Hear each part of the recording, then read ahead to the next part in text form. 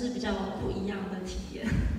这种音乐，那我想先说一下，很谢谢我的协演人员，还有所有工作人员在这场音乐会的协助，因为没有他们就不可能成就这场音乐会，还有台下的所有观众们。那我想要来简单的解说一下我们今天这场音乐会它的，嗯，它的风格好了，它的风格其实是二十世纪、二十一世纪以后古典音乐作曲家里面。到发展到今天变成现代音乐，那都是一些还在世或是很非常近期的做现代作曲家。那主要就是我在法国所学习的一些法国作曲家或是一些别的国家的作曲家的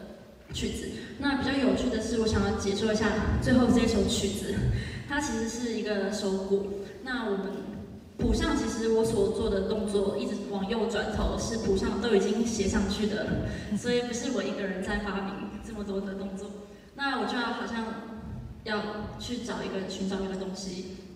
它的时值从向右转头，就像在投影幕上看到的，从一个小节到两个小节、三个小节，最后有到六个小节，所以我心里面会数着哪一个拍子。那我就用一块蛋糕来当做是一个吸引我的物品。这样子我就可以一直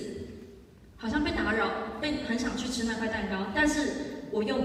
必须来做我的工作。那同时我也扮演很多角色，他的角色还有